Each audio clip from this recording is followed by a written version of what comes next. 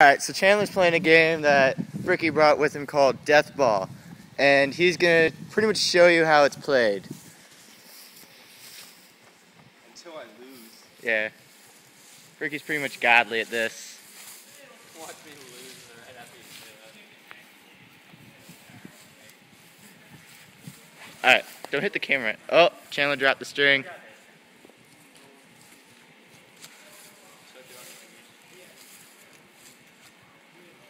Hey.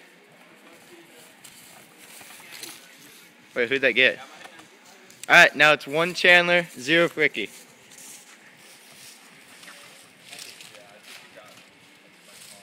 Alright, now it's one Ricky and one Chandler. Game point.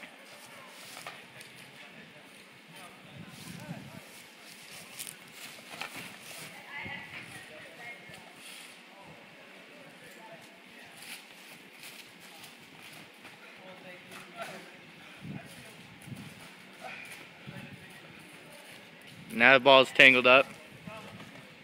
Alright.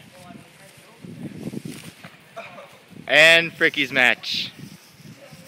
What do you think, Chandler? I think this is pretty awesome. I'm kind of hooked. So yeah, let's uh, let's see how somebody else can do. Alright. How about you take the camera? Punk. And do you guys want to play? Alright. Alright, um, do you guys want to play against each other to start off, or do you want me to kind of talk you through it one on one? Okay.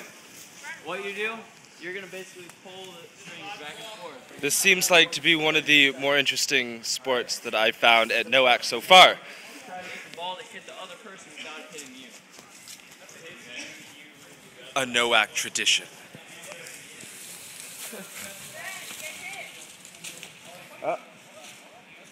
Some momentum going.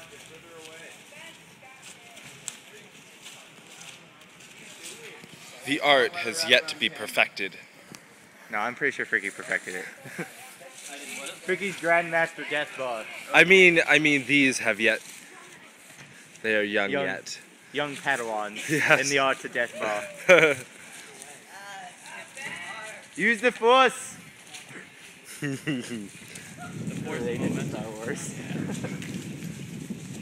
it's actually the third um third movie quote I've made in the past 30 minutes. really? Lord of the Rings, Harry Potter, and Star Wars. I don't know what's gonna come up next. Oh! No, point him. You No. drop the string so he gets